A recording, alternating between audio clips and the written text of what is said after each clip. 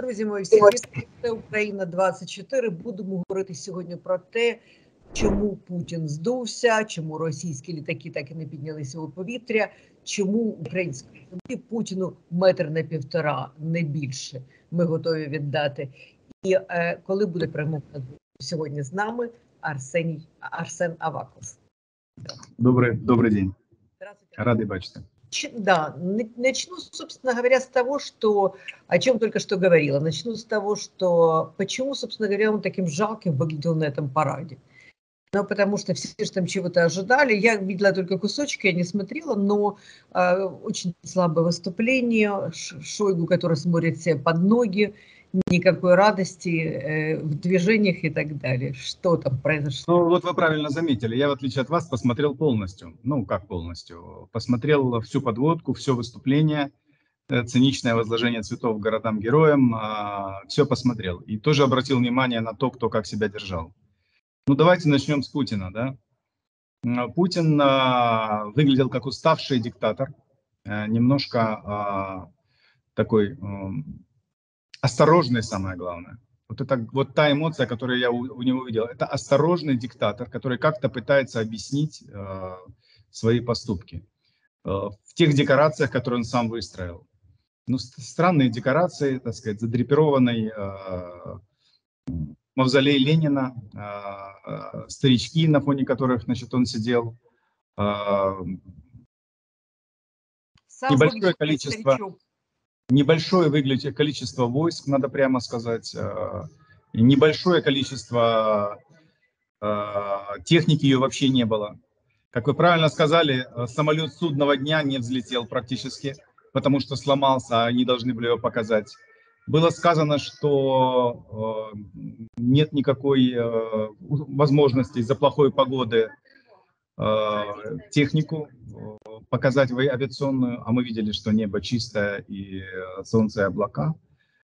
И таким образом мы констатируем одну простую вещь. Дела в империи идут плохо.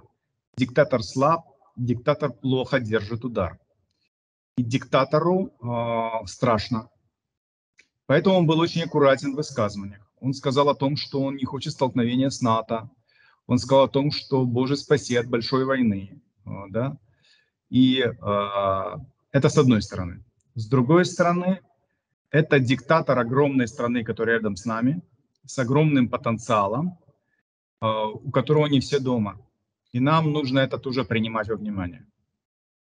Э, он не объявил о мобилизации, э, но не значит, что не объявит о чем-то завтра. Он произнес все старые тезисы, о которых мы много раз слышали, от того, что угнетались Э, народы Донбасса и заканчивая тем, что Украина готовила нападение на э, Россию. я удивляюсь, почему он еще не сказал, откуда на Беларусь готовилось нападение. Вот. Но и в целом, вот как мы, как вот э, украинцы, смотрели на это все с некоторым там нескрываемой брезгливостью и, знаете, осторожной отстраненностью, потому что по большому счету нам с вами все равно, что бы он там ни сказал и что бы он там ни объявил. Потому что любой вариант для нас, к сожалению великому, это все равно вариант бороться за э, свой мир самим. Ну, на что я еще обратил внимание, что э, во-первых, это было очень короткое выступление. Да. Я вспоминаю лекцию, которую нам прочитали, так сказать, псевдоисторическую в начале войны, о корнях там и так дальше. Сейчас он от этих всех параллелей ушел и говорил только об одном – защищать Родину, защищать Россию, защищать наших на Донбассе. Вот он так теперь это формулирует. Наших особенно, э, Арсен, особенно взбесило то, что он сказал, сравнил там э, вот этих вот террористов Донбасса, всех этих э, Гиви, Моторол с какими-то там Святославом, Мономахом, еще, ну, такая просто ну, херь. Даже не знаю, кто ему пишет эту хрень всю. Слушайте, ну он, он, он все-таки, наверное, плохой историк или плохо э, изучал ситуацию, понимаете? Вот э, э, знаменитое слово о полку Игореве, э, э, события этого эпоса большого, там, древнеславянского, происходили примерно в тех местах, где он сейчас бьется с нашими войсками на, вот, между Печенегами, Изюмом и Старым Салтовым, где-то вот в тех районах, да? И э, Это, это был один эпос. А, сейчас мы наблюдаем эпос другой. Это не эпос про русских солдат. Это эпос про украинцев на Азовстале. Понимаете? И я вот, а, коли мы об этом заговорили, давайте принесем одну пользу великую. А, объявили мы соответствующую петицию с призывом провести чрезвычайную ассамблею ООН для того, чтобы спасти людей с Азовстали.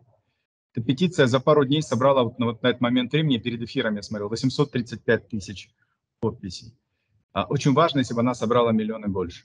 Поэтому вот, а, обращусь ко всем вашим зрителям, а, кто вас смотрит, с тем, чтобы подписать эту петицию. Там, на, у меня на Фейсбуке можно найти там адрес, ссылку. И это действительно важно, потому что это новый эпос, а не Гиви и Моторола. Это настоящие.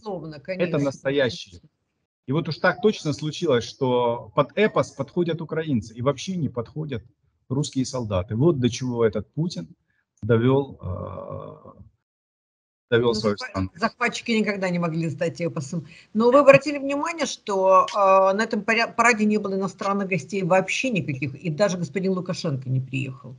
Ну, да. то есть Лукашенко не было, это лучший друг там Орбана не было, никого да. не было. Путин сел на стульчик среди ветеранов, значит, и э, э, с одеялком, которых, э, который должен был прикрыть себе коленки, там, или что у него там лежало, там, большое одеялко такое, да.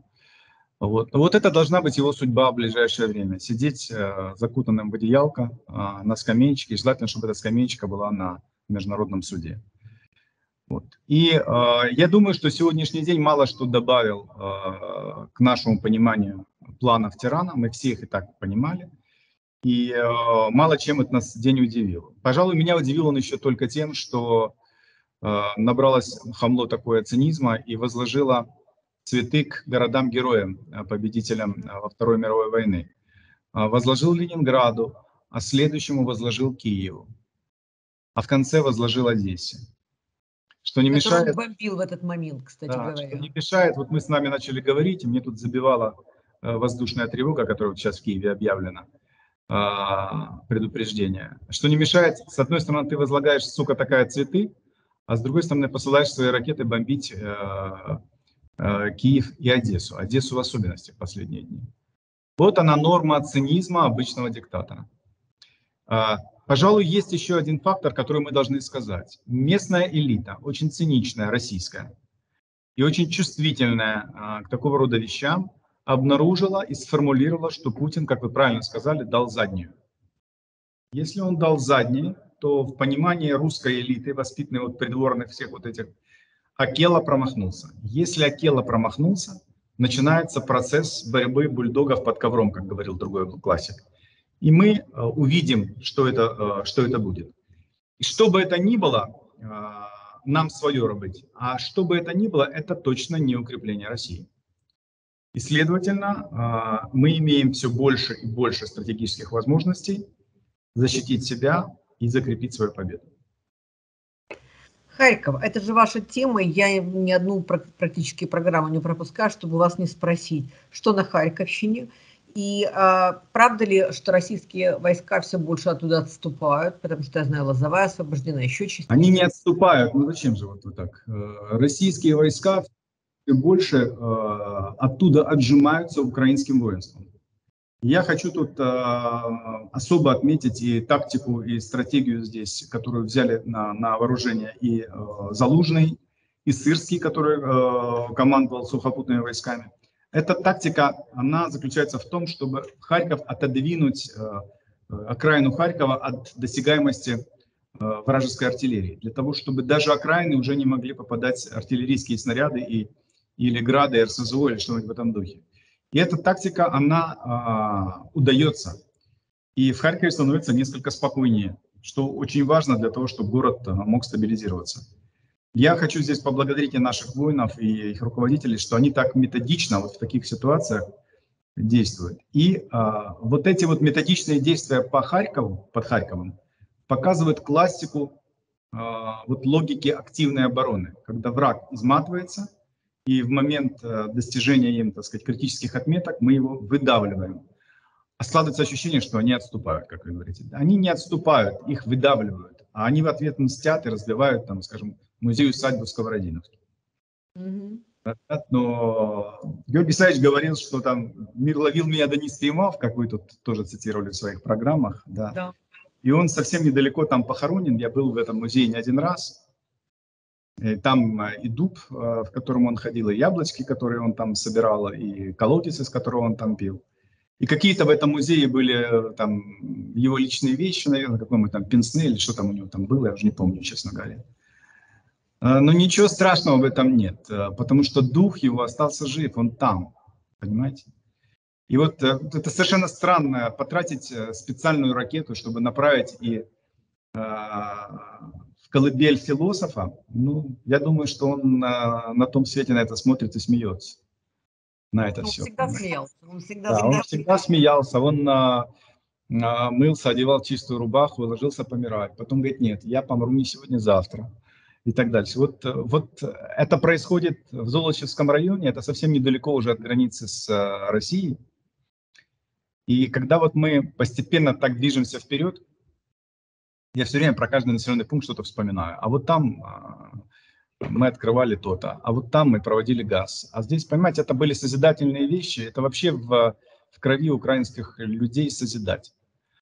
А вот э, Путину со своими портищами придется поколениями отмываться от э, клейма разрушителей. Так что под Харьковом у нас динамика очень хорошая, но эта динамика касается э, севера области, там, где у нас э, до Большого Печенежского водохранилища. А я думаю о том, что пора бы уже освобождать э, те, те, те населенные пункты, которые за э, Старым Салтовым, туда по ту сторону водохранилища, и которые очень мучаются, и это и Волчанск, и другие э, города. И э, думаю, что это будет ближайшая перспектива, самая ближайшая. Э, в городе все постепенно стабилизируется тоже, что очень важно. После войны все отстроим, Арсен да. Борисович. Все, все восстановим. И музей э, Сковороды тоже, в том числе, я в этом уверена. Э, очень, э, честно говоря, волнует вот эта проблема фильтрации. Вы только что сказали о э, Азовстале, да, ребятах, которые там находятся, петиции, которую мы напоминаем, нужно подписывать. Но вот э, даже те э, люди, которых вывозили, да, вот это Алиса Обидина, девочка, которая маму забрали, украли, многие другие, часть людей ушла вот в эти, там, в эти фильтрационные лагеря. Как их доставать у русских? Что вот с этим Ну делать? вот это и говорит о том, что мы не можем а, доверять, мы имеем дело не с, цивилизационным, не с цивилизованным подходом. А, с одной стороны, вы говорите, мы разрешаем эвакуацию, присылаете, так сказать, э, караван ООН, и с другой стороны, вы, получается, забираете любых детей, разрушаете мать с маленьким ребенком, но это вообще ну, как бы нонсенс, тем более, что Алиса, эта девочка, достаточно была известная. Мы все об этом а, писали, рассказывали, мы видели эти трогательные видео, тяжелые очень. Вот. Но а, получается вот такая ситуация.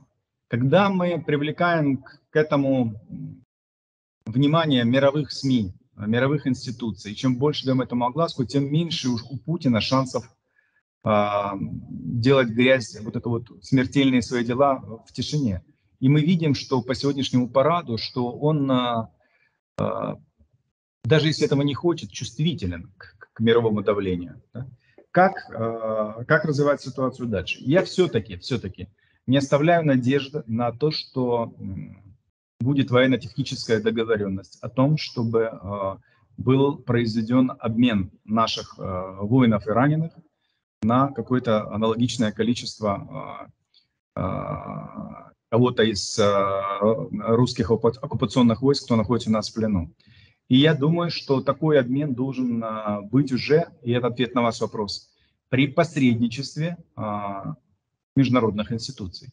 Пусть это будет или третья сторона, какая-нибудь Турция, там, к примеру, или это будет ООН, только не так, как это они сделали сейчас через фильтрационные лагеря а, так, чтобы мы могли гарантированно сказать, что если ты раненый, тебе обеспечивают эвакуацию, то ты точно попадешь в госпиталь, не в ДНРовскую среду и не в э, фильтрационный лагерь.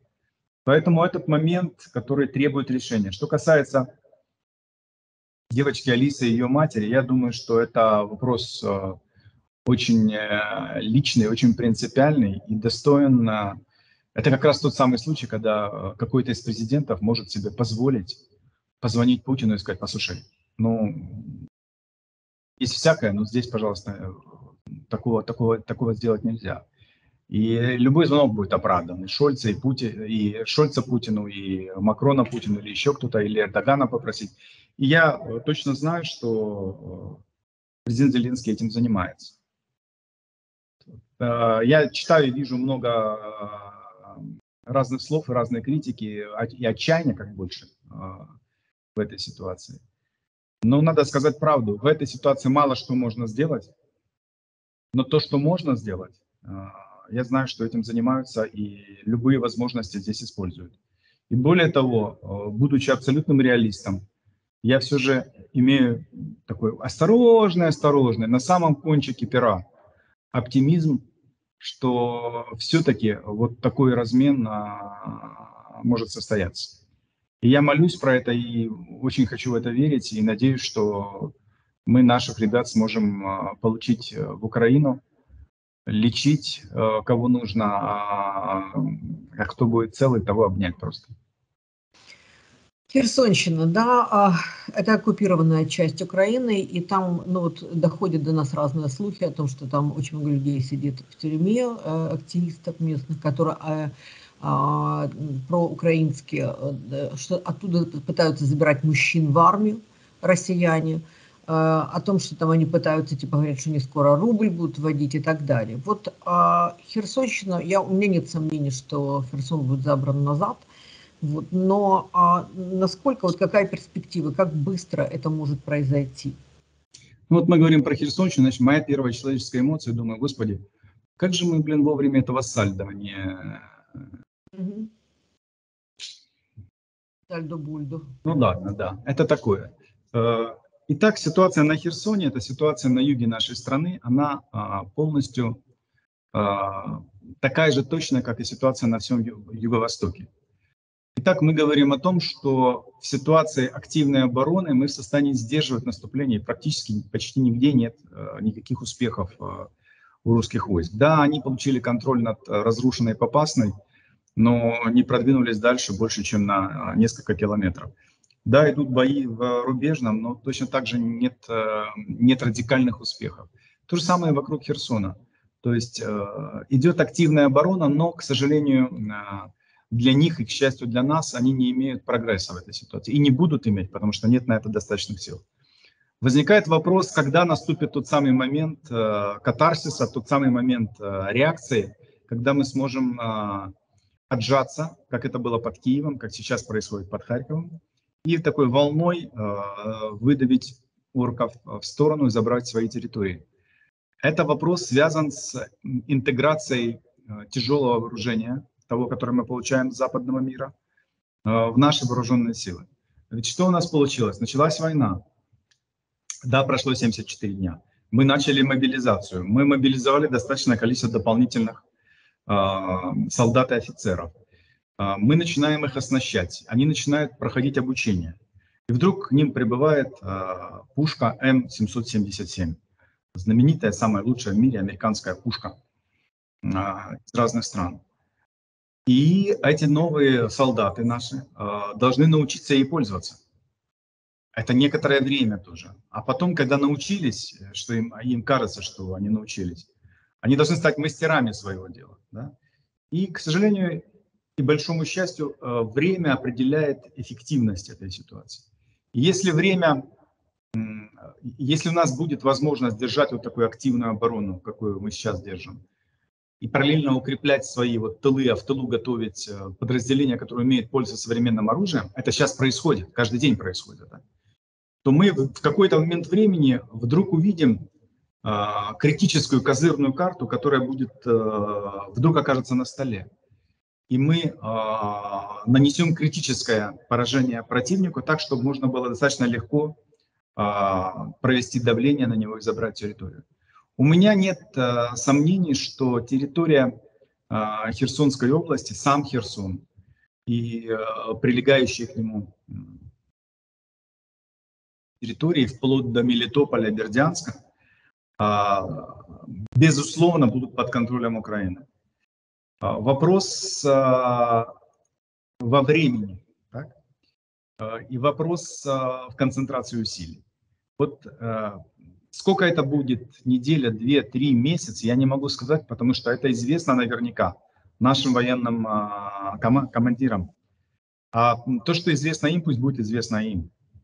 А мы с вами можем только анализировать и рассуждать. И то, точно так же они пытаются получить контроль над Краматорском, Славянском, а, рубежное Северодонецк, Лисичанск, а, выровнять эту позицию, а мы будем пытаться и там держать, и здесь, и потом а, давливать таким активной обороной. Э, я думаю, что до середины лета такой новый баланс новой армии с, восстановлен, с оснащенными пушками новыми и новыми системами РЭБа, новыми системами э, танков и вот этих противотанковых сооружений, новых средств ПВО, они смогут интегрироваться в наши силы настолько, чтобы начать приносить ощутимый успех. Я говорю ощутимый. А еще чуть-чуть, если дальше пойдет дело, то мы будем иметь критический важный успех. И э, жалко тратить каждый день на эту войну мучиться и терпеть, но э, очень важно осознавать, что перспектива будет именно такая. Вот, ну, это очень важно. Вот я бы так ответил на вопрос. Но я вам не скажу ни дату, ни, ни время. Ну да, ее, наверное, сейчас пока никто не знает.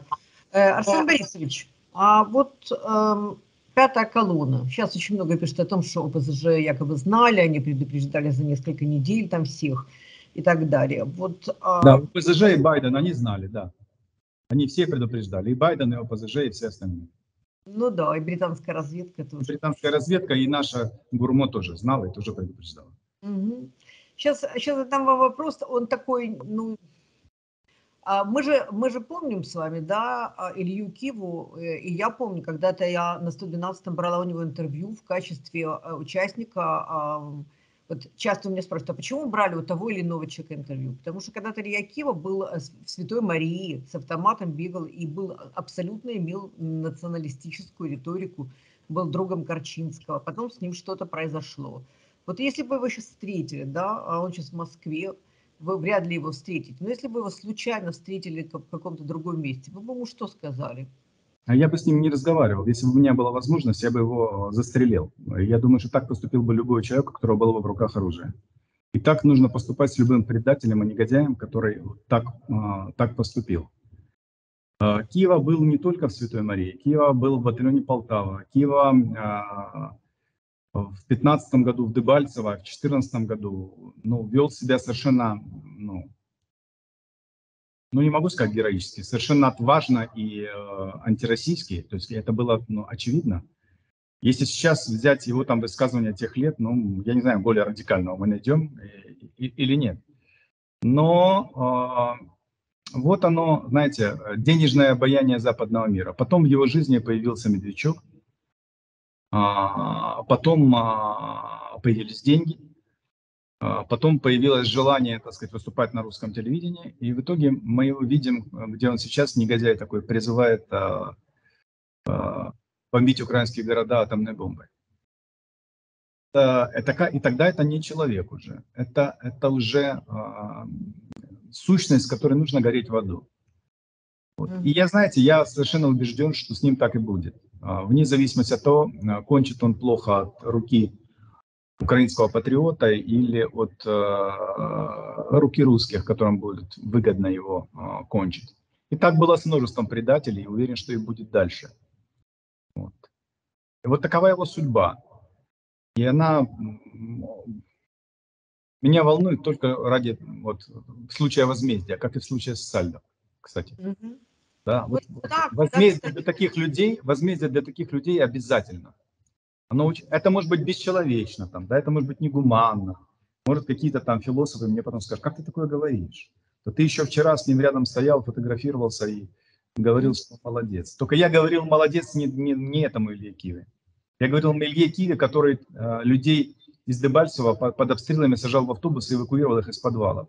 А этому негодяю, который предлагает добивать э, людей атомной бомбой, э, ну, я этого человека не знаю, и э, он мой враг настолько, что я готов э, потратить, чтобы, чтобы, был, чтобы было возмездие для него.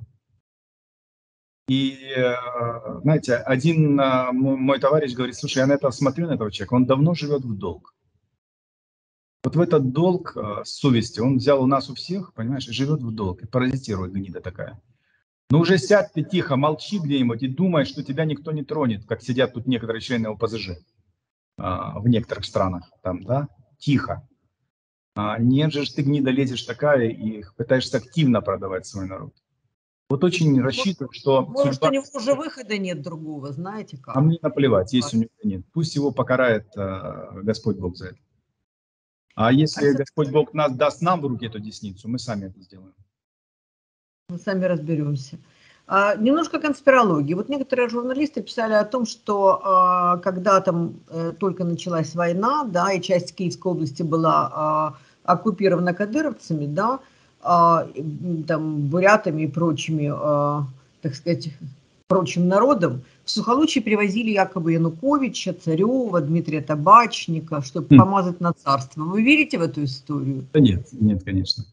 Я думаю, что э, мы же знаем, что Янукович большущий трус. Да? Поэтому, ну еще, так сказать, налить рюмочку Цареву и под шум волны завести его в третьей позиции, в это я верю. И Царева хорошо знаем в этом смысле. Э, а а, табачник не настолько дурак, чтобы там появиться, а Янукович точно, точно не стал бы это делать. Э, конспирология, конспирология, э, что можно в Украине кого-то помазать на царство, я думаю, что это конспирология 17 века. В Украине помазать на царство нельзя никого. А, даже, хай Бог простит, какого-то святого. Украинцы должны посмотреть, пощупать, принять решение сами, и потом еще будут недовольны, и потом еще переизберут. Поэтому я, не, я в это не верю, и это говорит лишний раз о том, что Путин настолько оторванный от э, реальности, что вообще угу. рассматривал такие варианты. Вот в процессе, смотрите, в процессе э, войны, и мы сегодня даже слышали по сегодняшнему выступлению, а планы Путина все менялись. То он говорил одно, то другое, то третье, то десятое. Вот как, э, как вы думаете, сейчас он вообще хочет унести ноги, э, так сказать, с какими надбаннями? Вот для него бы было бы так. Ну, прежде всего, он хочет унести ноги, да? угу. как-то выйти из этой ситуации. Э, второе, он хочет, чтобы как-то ушли санкции, э, как-то надо санкции отрегулировать. Угу. И при этом что-то при этом соврать своему народу, что ура, товарищи, мы победили. Вот то, что он э, хочет сделать. Потому что соврать народам и истеблишменту других стран он уже не может. Его репутация надолго и бесконечно разрушена. То есть он хочет, как диктатор, в своих учебниках истории, пока под его контролем, написать свои слова и вот так вот аккуратненько, так сказать, э, заканчивать жизнь в попытке, что это будет продолжаться долго. А убедить Украину отдать часть территории у него шансов нет.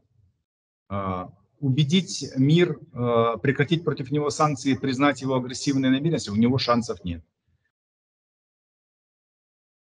В этом же многие эксперты видят в этом сложность, что он настолько загнанная крыса в угол, что у него так или иначе хорошего выхода ни для чего нет. Поэтому все говорят, может быть, он применит атомную бомбу, или он э, такой страшный.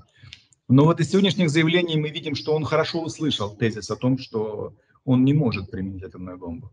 Он хорошо ясно и понимает о том, что сейчас э, возмездие, возможно, произойдет э, на 6 секунд раньше, чем он захочет нажать на какую-то кнопочку.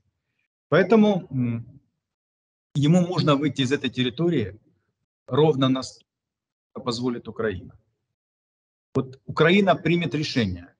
Мы э, остановимся на границе, э, допустим, 24 февраля. Да? Или мы остановимся на границе Украины, признанной а, международно. То есть заберем назад себе а, так называемый ЛНР, ДНР и остановимся на границе с Россией. Заберем Крым. А, заберем, как одни мне говорят, Краснодарскую область. Восстановим справедливость, как президент Зеленский говорил, а, а, Белгородскую область. А я ему вторю, говорю, а что только Белгородская? Часть Курская тоже наша была. Да? И вот Путину стоит уповать на то, какое решение здесь примет для компромисса Украина. Где остановиться, как, э, как сформулировать, понимаете? И э, это реальность. А вот э, как это оформить в их мордорском мире, это задача для него и его пропагандистов. Но другой альтернативы по большому счету нет. Это может продолжаться несколько недель, или это может продолжаться, к сожалению, великому, несколько лет, но конец будет только такой для Путина. Или э, Путина не будет, и местные элиты примут решение сделать какую-то рокировку, появится кто-то новый, который скажет, слушайте, э, он был агентом империализма и вообще был культ личности, и вообще э, э, мы теперь не признаем это и извиняемся. Пожалуйста, Украина, будьте самостоятельны, мы вечно вас будем любить. Э, пожалуйста, отдайте обратно Краснодарский край, к примеру. Да. И кто-то э, возьмет и отдаст ему Краснодарский край или не отдаст. Э, вот, вот, вот вокруг этого будут развиваться вот такие события. Философии, э, что он заберет Херсонскую область и начнет уговаривать Украину с этим согласиться, ее не существует. Угу. Потому что не существует такой Украины и такого народа Украины, который это может принять. А еще немножко конспирологии. Правда ли, что он обещал что-то Орбану а, там на Закарпатье? Правда ли, что он обещал что-то Лукашенко? Как вы думаете, могло быть такое какой-то кусочек пирога? Ну, я, безусловно, считаю, что это возможно. Вот. Но э, с Лукашенко это все ясно, но Орбан все-таки европейский политик. Если это вскроется, а это непременно вскроется, э, рано или поздно, то я боюсь, что политической карьере такого человека придет э, очень быстрый конец. Поэтому в такого рода вещах и такого рода крупных политических э, ситуациях договариваться с, людо, с людоедом нельзя. Нельзя договариваться с людоедом. И, э, Об этом же Данилов говорил, как бы так намекал немного Алексей Данилов, что он ждал Орбан свой кусок пирога. Ну, Данилов, наверное, информированный человек. Но я, я не имею, так сказать, точной информации, но по поведению Орбана, очень такому не, некрасивому в ряде случаев, э, мы можем такое предположить.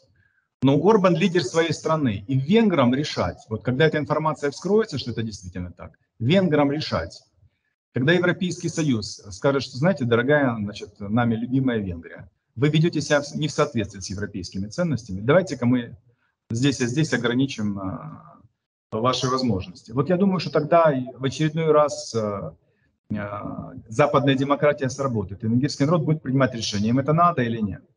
Ведь Орбан и так, да, он выиграл выборы, но у перед войной была не такая ситуация радужная, там а, было 50-50.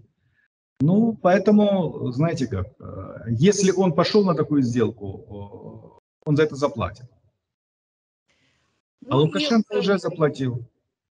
Да, как-то он сегодня не приехал в гости, так видно, как-то он волнует, переживает, да. да. Думает, думает о том, как куда Он просто думал, мало ли.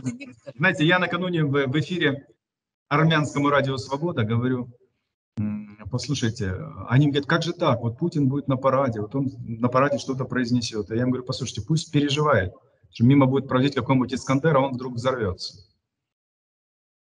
Вот Лукашенко, наверное, там посмотрел мой эфир радио «Армянская свобода». И решил не рисковать на всякий случай. не рисковать, э, и не мазаться, и не рисковать. Вот я думаю, что так. Как, как вы думаете, как быстро мы сможем, э, поскольку вот перелом-то все-таки уже есть, он чувствуется, как мы быстро сможем сформулировать э, идеальные условия победы? Что это должно быть? Полный военный разгром и капитуляция российской армии? Или это полное ядерное разоружение России? Или это международный трибунал над всеми военными преступниками? Или еще что-то? Вот что это должно быть? Капитуляцию Японии во Второй мировой войне когда Японии было запрещено иметь армию там, и так дальше. Да? Я думаю, что вот, э, в случае, когда мы можем предложить себе гипотетическую капитуляцию э, путинской России, то это э, должны быть две вещи. Первое, э, должны как минимум Украина, а как максимум весь мир, должны иметь гарантии неагрессивных действий со стороны э, России и ее армии. То есть контроль над этой ситуацией. Контроль может быть в двух областях. Или мы первой частью лишаем ее армии и контролируем, чтобы у нее армия это не появилась. И второй а, – это механизм возмездия, то есть пятая статья НАТО и так дальше. То есть и вот если такой механизм будет задействован, нет смысла а, прятать оружие на разговоре. Все знают, что возникнет такая ситуация. Второй вариант, как в случае с Японией. Армии нет, и ты имеешь возможность, после Второй мировой войны, и ты имеешь возможность там какие-то минимальные там штучки иметь, но не более чем. Не считаю, что это реально на этот момент времени, но считаю, что реальны механизмы контроля за вооружениями, а в случае больших катаклизмов а, черкнуть Россию из ядерного клуба держав, получив контроль над а, этими самыми, над ядерными вооружениями. Это такая гипотеза, такая почти фантастическая, да? но она должна быть на столе в качестве, так сказать, одной из дальних альтернатив. Тогда ближние альтернативы являются гораздо более понятными. Ну, как обычно, да. Поэтому условия, э, условия э, номер один для э, прекращения войны – это согласованные всеми гарантии безопасности. В случае, если Путин достает из кармана дубликатом бесценного груза какую-то очередную свою атомную бомбу или бредовую идею, по нему немедленно идет удар возмездия, заранее согласованный всем остальным цивилизованным миром, и на который он заранее согласен уже, вот он ее подпишет. Это и есть первое условие мирного договора. Условие номер два. Безусловное а, уважение границ Украины с учетом Крыма и Донбасса. Условие номер три. Репарации в адрес Украины за те бесчинства, которые были. Это минимум миниморум. Так? После этого могут обсуждаться э, наказание за военные преступления, э, отмена частичная или какая-то там санкций, и, э, или, соответственно, наложение новых, или, соответственно, а, процессы международные, которые будут. Вот параметры этого мира. С той стороны. С нашей стороны у нас другие процессы. У нас, а, несомненно, будет переходная восстановительная экономика, завязана на новый план Маршала, на безусловную дотацию и помощь со стороны мирового сообщества. Без сомнения, на списание всего внешнего долга Украины для того, чтобы стабилизировать ситуацию и сказать спасибо Украине за то, что мы приняли на себя такую угрозу. Вот это вот э, базовые параметры первого, первого времени после, э, э, после заключения мира. Вот. Ну, примерно так. Спасибо большое, Арсен Борисович. Я только что прочитала, что российского посла в Варшаве залили кровью. Вот, и даже, и даже увидела, зрелище это не для слабонервных. Я думаю, что в ближайшее время русских будут так повсюду встречать. И это, естественно, ну, у вас и у меня алиби, потому что мы здесь были в эфире, когда его заливали. Да. Спасибо большое. Слава Украине. До следующей встречи. До связи. До свидания. До свидания.